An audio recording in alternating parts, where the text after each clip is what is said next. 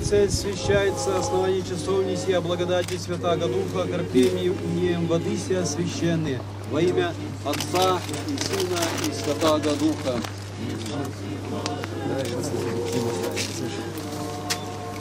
Освящается, освящается основание часовни сия.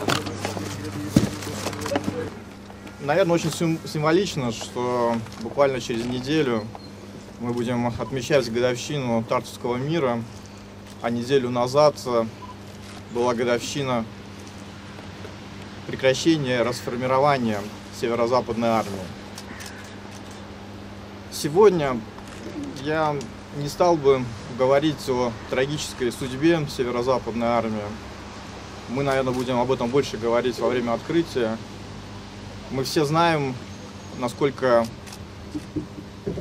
высока была роль Северо-Западной армии в освободительной войне и насколько трагически закончилась э, история этой армии. Но сегодня я скорее хотел бы поблагодарить тех людей, благодаря которым сохраняется историческая память.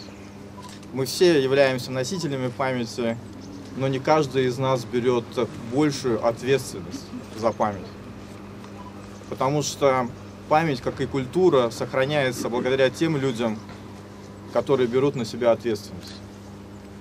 Я благодарю Русскую Православную Церковь за память, за инициативу, за активность, за веру. Я благодарю всех людей, которые принимали участие в сборе средств, тех людей, которые обращались э, в Таллинскую мэрию, потому что если бы не было бы этой инициативы, то не было бы и сегодняшнего дня. Если не было бы людей, которые берут на себя ответственность, не было бы исторической памяти и не было бы истории. Краеугольным камнем истории являются люди. И эти люди берут на себя ответственность и за историю, и за ее память. Большое всем спасибо за сегодняшний день.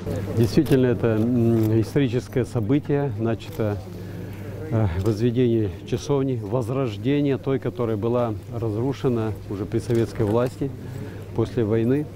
И вот это как раз возрождение часовни, это и есть сохранение памяти, что очень важно для любой исторической эпохи, а для современной, наверное, особо важно.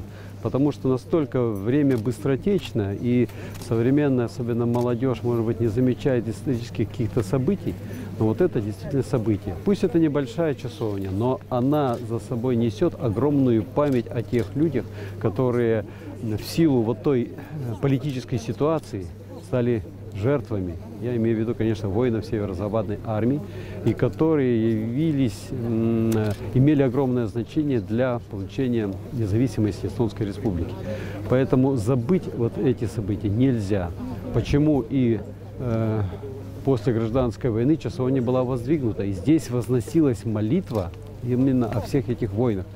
И даже, можно сказать, шире, о всех пострадавших, хотя она построена именно была по этому событию. Возрождение часовни – это возрождение этой памяти. Здесь будет возноситься молитва. Молитва за всех тех, кто именно покоится здесь и в других местах, войны северо-западной. Поэтому сбор средств продолжается, и кто э, пожелает, может внести свою посильную лепту в сохранение вот, вот этой памяти. Действительно, мы увидели очень важную, нужную, необходимую поддержку со стороны мэрии. Мэр э, господин Кылвард именно сразу воспринял это положительно с точки зрения восстановления памяти. И здесь, насколько я знаю, на- на- намечается реновация полностью всего вот этого кладбища, который, опять же, в силу э, той политической ситуации э, и программ советской власти сделали из кладбища э, парк, что, в общем-то, кощунственно. Даже не только с точки зрения христианской, но и вообще обыкновенной морали. nurgakivi Сегодня состоялась закладка Георгиевской часовни, посвященной памяти воинов Северо-Западной армии. Часовня была возведена в 1936 году. После часовня была уничтожена, и мы должны ее возродить. Стоимость часовни обошлась городу около 500 тысяч евро. Это само строительство и благоустройство территории. see tähendab kabelieehitust ja kogu selle äh, ümbritseva ala taastamist